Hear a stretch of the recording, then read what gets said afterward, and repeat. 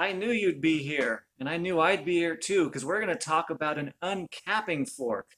The uncapping fork is my preferred way to decap wax off from the comb when it's ready to be centrifuged.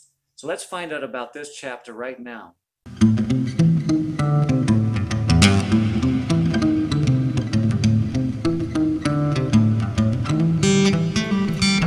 Just better to get this over with than one sweeping motion. Because the more you let this sit here, the more it's going to drip all over the place.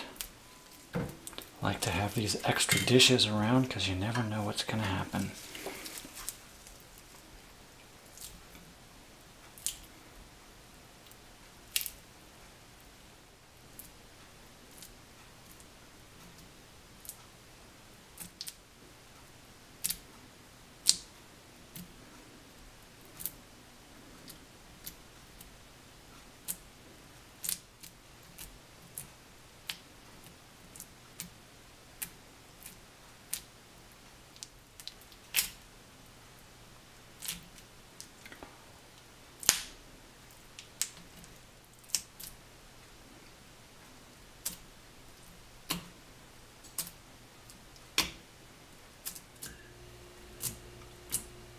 Just doing a little at a time and high frequency is what I've learned works pretty well.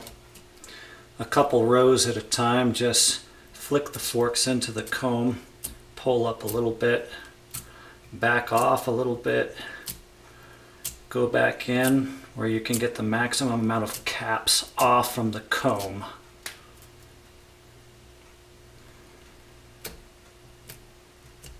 And then do an inspection and see wherever you miss some.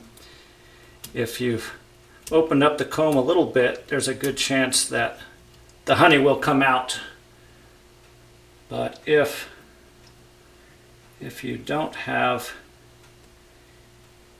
any of the cap off, then it's not going to release any honey in the centrifuge.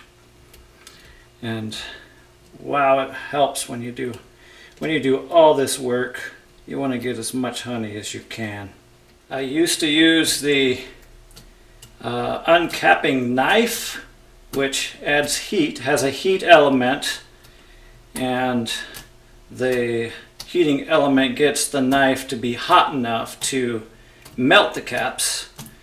But I found that just made a whole lot of mess and a whole lot of frustration. So so I don't mind doing this. It's a little bit more labor intensive, but I also feel like I can just prick the very caps right off the top and still get a pretty good yield out of it. Whereas the knife, you can just sear off the top half of everything and and then that leads to a lot of loss and honey running all over the place and wax all over the place. So don't mind this one bit. Gives me a good break from running the hand crank centrifuge. If you have one of those electric ones, that's pretty nice. But you know, they do take up a lot of space. And so if you're not producing a whole lot of honey, it doesn't make sense to have a whole lot of the gizmo gadgets. If you are producing it does make sense. And those things are really nice you can time everything so that you can be uncapping these while things are centrifuging. You can do everything in a really short amount of time.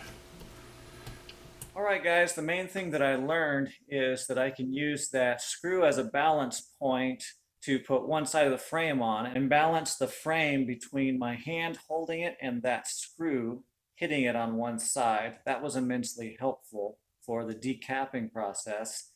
Another thing that was immensely helpful is laying the frame sideways onto that nail and working across the frame horizontally instead of the frame being up and down and trying to prick into that frame from the top from the bottom.